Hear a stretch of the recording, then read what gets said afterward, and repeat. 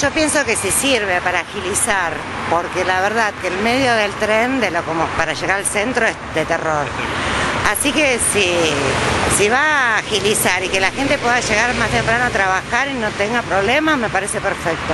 Me parece fantástico. Por lo menos la gente que usa ese, tra- ese tramo le llega más rápido. Y depende, depende de cómo lo vayan a organizar, porque cortar dos carriles en la avenida Maipú es medio, medio Es com- es complicado. complicado, exactamente. Y creo que hay otras prioridades, ¿viste? Estamos mal en tránsito en todos lados, no solo acá, digamos. Pero bueno, me parece que hay situaciones, de, digamos, más críticas.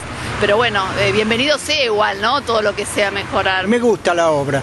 Cuanto más movilidad tengamos acá en Vicente López, mejor va a ser. La gente va a dejar el auto en su casa y va a viajar en el metrobús. No sé si es necesario, pero sí que puede ser un adelanto. Si está bien organizado, todo sea para que, el- que la gente que viaja en colectivo pueda tener eh, más tiempo, digamos, en su casa que más tiempo viajando. ¿no? La gente que viaja del oeste hacia, hacia capital la pasa mal, mal, en condiciones inhumanas. O sea que me parece que nosotros también viajamos mal, volvemos mal del, de capital, pero bueno, me parece que hay, hay otras personas que la están pasando peor. Las prioridades las tiene que dar el gobierno. Nosotros no podemos decidir qué es lo que se hace primero. Y no creo que alcance el presupuesto, pero sí puede ser que haya otras prioridades más como pasos de nivel en las vías que, que por ahí tener eh, el metrobús instalado también acá en provincia. Pero bueno, eso la, la persona calificada supuestamente sabe lo que está haciendo, ¿no? Es un tema profundo el tema del transporte en Buenos Aires, ¿no?